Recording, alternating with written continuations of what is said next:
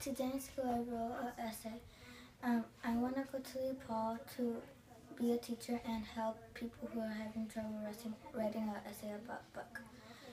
My name is Maritza C. and I am part of CICS.